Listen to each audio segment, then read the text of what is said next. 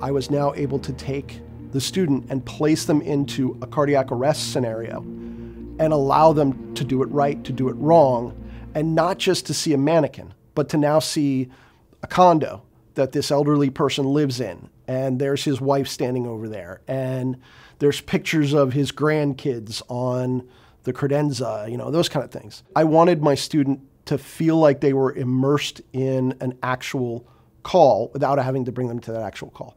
The first time I worked at cardiac arrest as a student, I was a brand new EMT. I was like days into being an EMT. And it was one of the most stressful experiences of my life. I had no idea what I was doing. Luckily, I had great paramedics around me that were able to help me and support me. But I was lost. And afterwards, I thought, did I do that all wrong? You know? Um, so bringing someone into virtual reality gives them that real experience.